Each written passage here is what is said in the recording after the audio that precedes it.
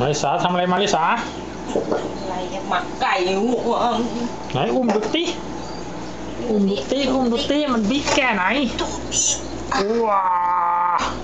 นี่คืองูใหญ่กว่าหน้ามาริสาเลยอีกฮะฮะหนักไหมพอแล้ว พอแล้วเฮ้ย